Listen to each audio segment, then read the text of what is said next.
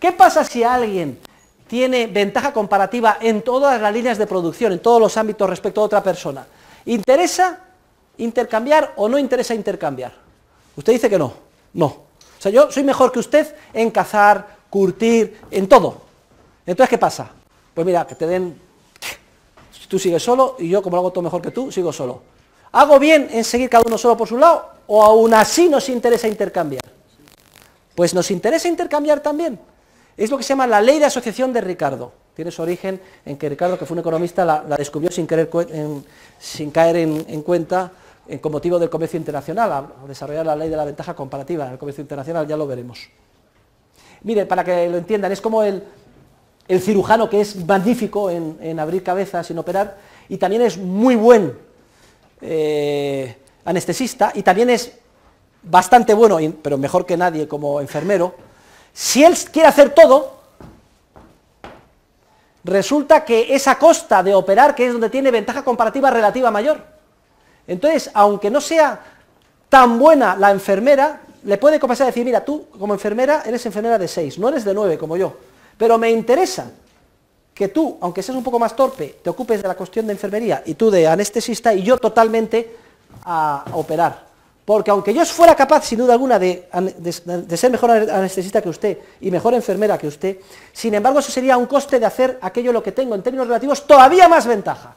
Por eso, la cooperación entre los más dotados en todo y los menos dotados sigue interesando a todos, siempre y, y cuando cada uno se especialice en lo que tiene ventaja comparativa, ojo, relativa en términos relativos, mayor. Esto, dice Hayek, que podemos ser o muchos, las alternativas son muchos y ricos o pocos y pobres. A ver, ilustración, la bomba atómica de neutrones y Mad Max. La bomba atómica de neutrones es una bomba atómica curiosa, que cuando explota deja intacto todos los activos materiales. Solo mata lo orgánico. Imagínense que caen unas bombas de neutrones y desaparecen de los 6.000 millones de la, de la faz de la Tierra, solo quedamos 6. Pero quedan intactos todos los edificios, inmuebles, bienes de capital, bibliotecas y libros, recetas, fórmulas, programas de ordenador. Yo les, pregunto a ustedes, ¿esos 6 millones que, que quedan, vivirían muy, muy, muy ricos? Filosofía de Malthus, una enorme riqueza, pero como sois 6 millones, tocan aún, vamos, estarían todos con gigantescos yates, etcétera, o serían muy pobres. ¿Qué piensan ustedes? Pobrísimos. Porque con una milésima parte de la población no se puede sostener el inmenso volumen de conocimiento práctico que la hace posible. Una mujer que fuera a parir estaría en una situación que una india hace 5.000 años. Tendría que irse sola a parir ya sola debajo de un árbol.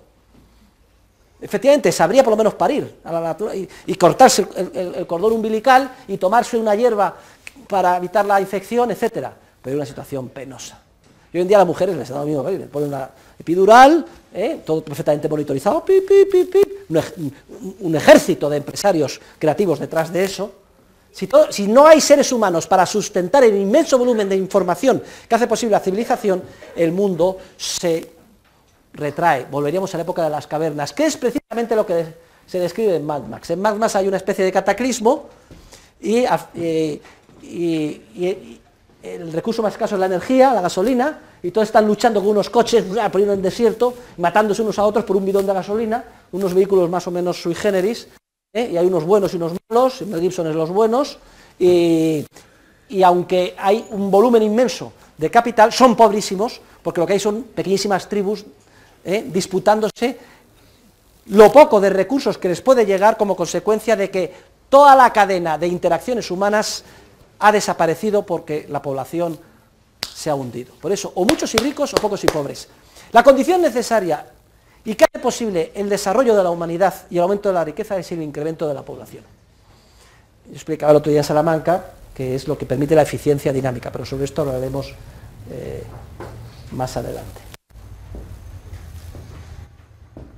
Por eso todas las instituciones que favorecen el crecimiento de la población impulsan el desarrollo de la civilización. Pero además, si lo que estoy explicando es algo obvio, vamos a ver, vamos a ver. ¿Cuál es la historia de la humanidad en cuanto a desarrollo económico? ¿Qué es lo que permitió la revolución industrial? Aumentar la población. ¿Por qué ahora somos 7.000 millones y hace, antes de la revolución industrial éramos una centésima parte? Si el crecimiento de la población fuera en detrimento del desarrollo económico, veríamos ahora que éramos mucho menos y somos muchísimos más. ¿O cuál es el proceso de emigración hacia las ciudades? Cada vez las ciudades atraen como un imán a más inmigrantes, cada vez las ciudades tienen más gente y son más ricas, más gente y son más ricas, más gente y son más ricas. Es que es obvio, porque aumenta exponencialmente la capacidad de división horizontal y vertical del conocimiento. Y cada vez con el desarrollo somos más ignorantes. En términos relativos sabemos menos del total, respecto del total de, la información de la que nos aprovechamos. Yo me estoy aprovechando de un volumen inmenso de información y no sé nada, yo solo sé cuatro cosas de economía y poco más. En comparación con lo que sabría si estuviera en la selva. A ver, otra película. ¿Qué le pasa a Cocodrilo Dandy que le sacan de la selva de Australia cuando lo meten en mitad de Manhattan? De eso va la película. ¿eh? Pues que está, el tío alucinando. Él sabe cómo cazar una, una, pitón, abrir la pitón, comerse la pitón, se, asa la pitón en medio de la quinta avenida y todo el mundo, este tío está loco, etcétera, va con ahí, bien. Y viceversa, ¿qué pasa si cogen a un neoyorquino de Wall Street y lo meten en la selva, en, Australia? Dura una centésima de segundo. Le pica la, la, la serpiente venenosa, se bebe el agua envenenada, ¿se dan ustedes cuenta?